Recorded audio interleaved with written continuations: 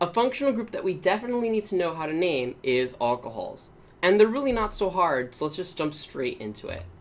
So, a word that we use to describe a molecule that has more than one OH or more than one hydroxyl on the carbon chain is a glycol. And glycol is a very unspecific word because it just refers to any molecule that has more than one hydroxyl on it. So instead of using the term glycol, a lot of times we're going to use a more specific term. In fact, we're going to use prefixes to indicate exactly how many OHs are on that chain.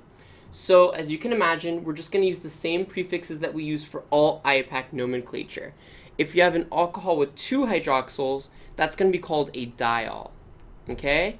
And if you have an alcohol with three hydroxyls, you can imagine that's going to be called a triol. And that would keep going to tetra, etc. Okay?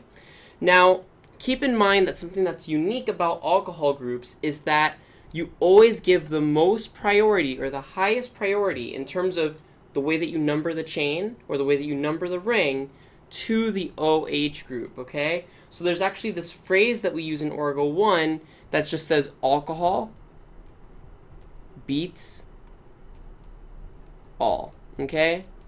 And that just means it's going to beat all the other functional groups that you're really exposed to in Orgo 1. If you have a double bond, triple bond, alkyl halide, anything else present, you're going to give your priority in terms of prioritizing numbering to the alcohol. Okay? So let's just go ahead and jump into these examples. I want you guys to try to solve it on your own, and then I'll go ahead and jump in and give you guys the answer.